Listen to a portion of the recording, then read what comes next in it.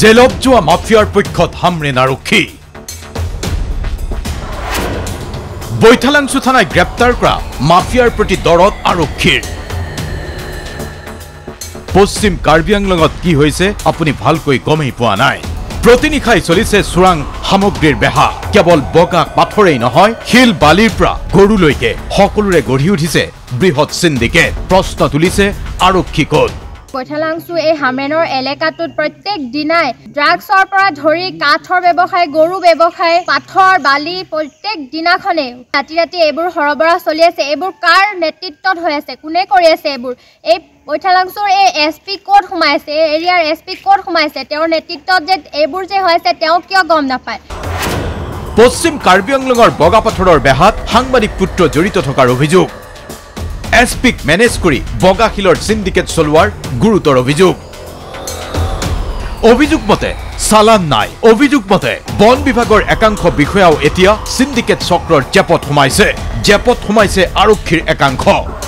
অভিযোগ মতে দেৱীচন নে দেৱাচনৰ সমান্তৰাল চৰকাৰ এতিয়া কাৰ্বি আংলঙত চাৰি মাহ পূৰ্বে অবৈধ শিল খনন আৰু বগাপাথৰৰ বেহাৰ বাবেই গ্ৰেপ্তাৰ হৈছিল দেৱীচন। সেই দেৱীচনৰে কথা মতে আৰক্ষীৰ উঠা বহাৰ গুৰুতৰ অভিযোগ। দেৱীচন নামৰ অভিযুক্তৰ অভিযোগ লৈ আৰক্ষীয়ে গ্ৰেপ্তাৰ কৰিছে হামৰেনৰ সাংবাদিক টুটু নিগমক।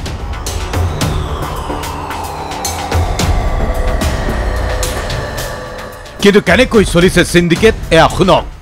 এইটো কি বস্তু? আছে ক'ৰ পৰা আনিছে? জাগাৰ নামটো গম নাপাওঁ চালান আছে আপোনাৰ তাত? চালানটো আহি পোৱা নাই সেইকাৰণে ৰখি আছো চালানটো আনি আছো। পঁচিছ কিলোমিটাৰ অহাৰ পিছতো এতিয়ালৈকে চালান নাই। এতিয়া ক'ত চালান পাব? চালানটো ইয়াৰ পৰা বনাই আনে ক'ত পৰা বনাই আনে? অফিচৰ পৰা বনাই আনিব। এতিয়া ৰাতি ক'ত পৰা চালান দিব ফৰেষ্ট কেইটা? গম নাপাওঁ এতিয়া চালান নিদিলে গাড়ী থাকিব নামটো কি আছে? মালিক নামটো? ডিভিশ্যন তেৰাং। ডিভিশ্যন তেৰাং। এইটো কিমান টন হ'ব ফৰলোডটো পঁচিছ টন। পঁচিছ টন। চিণ্ডিকেট চক্ৰৰে আৰক্ষীৰ দৰহম মৰহমৰ কথা গুমৰ ফাক হোৱাৰ ভয়তেই আৰক্ষী অধিক তৎপৰ নেকি? চিণ্ডিকেটৰ বাতৰি কৰা সাংবাদিকৰ বিৰুদ্ধে। এছ পি ইন্দ্ৰনীল বৰুৱা এতিয়া চিণ্ডিকেট চক্ৰৰ হাতৰ পুতলা নেকি? খাকী পোছাক বন্ধকত দি চিণ্ডিকেট চক্ৰৰ কথাত তৎপৰ হৈ সাংবাদিকক গ্ৰেপ্তাৰ নেকি? হামৰিয়ান আৰক্ষীৰ।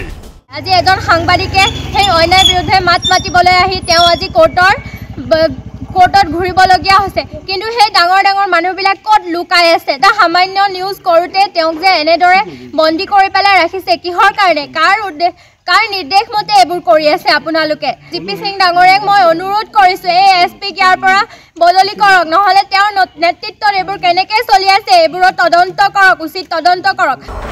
অভিযোগ মতে খাকী পোছাকত এতিয়া বগা পাথৰৰ কমিছনৰ দাগেই দাগ। D G P I G পিৰ কথা মতে চলা নাই হেনো এছ পি ইন্দ্ৰনীল। পশ্চিম কাৰ্বি আংলঙত শিল বালিৰ পৰা গৰু কয়লালৈকে চলি থকা চিণ্ডিকেটৰ ভোকে নাপায় নেকি এছ পি ইন্দ্ৰনীলে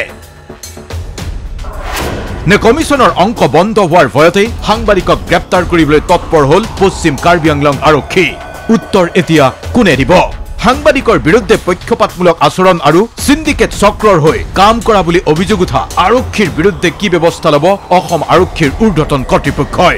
এই প্ৰশ্ন এতিয়া হামৰেন বৈঠালাংচুত সকলোৰে মুখে মুখে। হামৰেনৰ পৰা bureau report D Y three six five